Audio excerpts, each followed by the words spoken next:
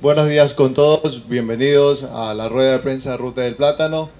Es un gusto para todos nosotros que estén presentes auspiciantes, autoridades y demás personas que están involucradas indirecta e indirectamente en este evento, la Ruta del Plátano, que hoy se celebrará la décima edición, una carrera que comenzó como un sueño en el 2010 y, y ahora que se ha convertido en el evento más grande del ciclismo nacional en el Ecuador proyectándose a nivel ya internacional. Así que estaremos prestos para responder preguntas de, los periodistas, cualquier inquietud nos hagan saber sobre el, evento. Eh, la pregunta para Jefferson, es casi una década de participación acá en el Carmen, trascendiendo fronteras locales, provinciales y nacionales. Entiendo que se ha roto un récord de inscripción, eh, son más de 1.000, 1.111 participantes. Esto conlleva un gran movimiento incluso económico acá en el Carmen. Los 10 o 12 hoteles rebasan esa capacidad. Hay mucho movimiento económico, mucha venta de comida, venta de recuerdos y tantos otros rubros que se pueden obtener con esta gran ruta del plátano. Jefferson, viendo esa trascendencia que se ha logrado, eh, ¿hasta dónde llega esta participación a nivel provincial nacional. ¿De dónde llegan lo más lejos los ciclistas? Ya tuvimos todo a nivel nacional, pero últimamente los últimos tres años han llegado ciclistas de, Colombia y Perú, básicamente los que están cerca a la frontera. Eh, nuestros próximos proyectos o a futuro lo que queremos hacer una carrera de dos a tres días para que así motive ciclistas no solo de América, sino de Europa, para que tengan una motivación o una excusa más fuerte de venir a una carrera, no, de tan solo un solo día, sino de, varias etapas como en, las grandes vueltas que hay en todo el mundo. En el tema de las categorías, porque nos decía acá Yuri que hay inscrito más de mil corredores, eh, ¿cuántas categorías eh, se van a dar en este, este, en este evento?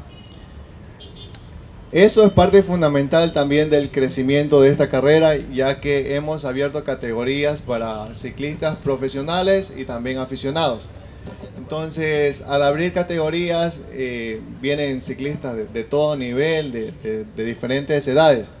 Hemos abierto este año 19 categorías donde usted se puede inscribir dependiendo del nivel. Si usted es una persona de oficina pero que le gusta el ciclismo, lo practica esporádicamente, puede inscribirse a nuestra carrera. Asimismo, por la alta premiación vienen los ciclistas élite nacionales que son a nivel internacional y lo de los países vecinos que les estoy mencionando. Un cálculo así de cuántas personas han pasado por Ruta del Plátano con la colaboración, siendo comisarios, siendo jueces y toda la logística que lleva el organizar este evento, Jefferson. Bueno, un promedio de 100 personas se manejan el día del evento, pero no es solamente el día, sino que es un trabajo arduo que estamos trabajando conjuntamente con la policía, cuerpo bomberos, cuerpo bomberos, paramédicos y otros colaboradores que tenemos, aparte de nuestro equipo estable que, que también tenemos de Montaña Center. Entonces esto nos motiva a seguir adelante porque no solo es Jefferson, sino es un equipo completo que se está moviendo por impulsar esto, el turismo en el Carmen, el deporte, y no solo aquí en el Carmen, porque por este evento se benefician otras empresas a nivel nacional también, como un deportista necesita el masajista, necesita reparar la bicicleta y, esto se mueve que no, no tenemos a veces la, noción de esto, pero sí rebasa fronteras. Quisiéramos eh, que nos haga una radiografía de lo que es en sí toda la ruta que van a competir los eh, visitantes. Antes de, darle la radiografía que me está pidiendo, quisiera eh, mencionar algo sobre en cuestión del turismo y, los hoteles. Hablando con un dueño hotelero, le digo que cómo está, me dice estamos a full. Le digo tendrás que hacer más más grande el hotel porque necesitamos siempre y, no, no cumplimos con la demanda que tenemos en la ruta del plátano pero me dice, no hay ruta de plátano siempre, o sea, no, no es siempre que, que, los hoteles están llenos. Entonces es muy importante que como autoridades, como jóvenes o emprendedores, no tan solo sea la ruta del plátano, sino que debemos promover más este tipo de eventos para que así haya más dinámica en la economía. Y sobre los sectores que vamos a recorrer en la ruta del plátano, básicamente son los tradicionales, han hecho pequeñas mejoras y comienza siempre en la parroquia Wilfrido Lor Maicito, luego La Raíz, Santa Rosa de Venado, salen al Porvenir, del Porvenir llegan a la vía Palmasola y de la vía Palmasola se dividen en las dos distancias, que una es de 38 y la otra de 50 kilómetros.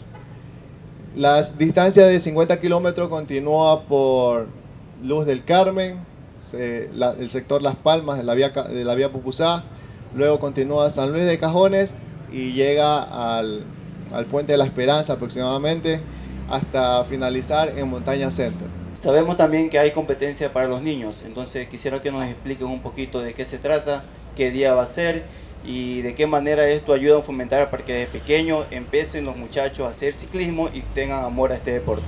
Y en estos últimos años ha disminuido un poco las categorías inferiores como la prejuvenil y la juvenil que son las categorías de 14, 15, 16 hasta 18 años que se comienza el ciclismo. Pero nunca nos enfocábamos en hacer carreras para niños o eventos para los que están comenzando. Es ahí cuando nos vimos obligados a organizar también eventos para los niños, para así promover desde el más pequeño, porque en esta ruta del plátano Kids tendremos desde los 2 años hasta los 14 años. Y no solamente el día domingo una vueltita a la, a cuadra que le damos una, un reconocimiento o una carrera simbólica, sino que es una carrera especialmente dedicada para ellas. Es un evento aparte a Ruta del Plátano que será el día domingo. Así que la Ruta del Plátano Kit será el día sábado atrás del estadio Sonsón Paspala en la entrada vía Cajones. Pero esto también emana tema de seguridad. ¿Cómo se ha hecho para tener los, eh, toda la alternativa necesaria en caso de que se presente algo? y siempre nos preocupamos por eso para tener desde la hidratación, desde los paramédicos en cada punto donde son peligrosos, tenemos. Obvio que tenemos ambulancia por medio del cuerpo bombero, consulting, contratamos empresas privadas y lo fundamental el apoyo de la Policía Nacional, la Intendencia y todos los que están involucrados en el tema de seguridad. Incluso en los últimos años hemos contado con el apoyo aéreo que siempre hemos tenido el helicóptero sobrevolando la carrera tema logístico, el tema de premiación. Eh, me imagino que la empresa privada, el gobierno municipal y otros entes están colaborando. ¿Cómo se financian ustedes para todo este tipo de, gastos? Entonces nosotros nos obligamos y nos sentimos siempre respaldados de la empresa privada y principalmente de las autoridades, porque como les he dicho siempre, este no es solo un evento de montañas o de Jefferson Bravo, esto es un evento que involucra a muchas partes, y no solo en el Carmen ni en Manaví, sino en todo el Ecuador. Así que siempre hemos tenido el respaldo, el respaldo de, la empresa privada, el municipio, ahora nos está apoyando también la prefectura y eso, eso nos, alegra mucho que hemos sido respaldados de esa parte. Toda Sudamérica y por qué no todo el continente, con el triunfo hace unas semanitas atrás de Richard Carapaz en el Giro de Italia y que se escuchaba por allí la posibilidad de tenerlo acá. Conocemos que es complicada porque su agenda ahora que es un campeón, es bastante difícil. Queríamos saber si va a estar con nosotros y cuáles son los ciclistas de élite que estarán presentes el domingo. Se nos dificulta más aún siendo ahora campeón porque imagínense, es una celebridad en, no solamente en el Ecuador, sino en todo el mundo. Incluso en su tierra ya ni siquiera lo dejan entrenar porque va entrenando, foto, foto, foto. Y, y, aunque para nosotros es una logística tremenda traerlo, todavía estamos esperando hoy día la respuesta para ver si, si concreta su llegada, para hacerle, rendirle un homenaje. Él no viene a competir en Ruta del Plátano, pero sí para que los 1100 y más ciclistas que estarán aquí presentes le rindamos homenajes y todo el, el público presente a Richard Carapaz. ¿Los de élite que van a estar presentes? Los ciclistas de élite estará Sebastián Rodríguez, Joel Burbano, eh, Byron Guamá está confirmando porque tiene posiblemente una competencia de ruta nacional el día domingo, pero está haciendo lo posible para estar acá. Eh, viene Galo Tamayo, Willy Tobay y otros ciclistas que él, también, Tomás Zanea, sí, sí.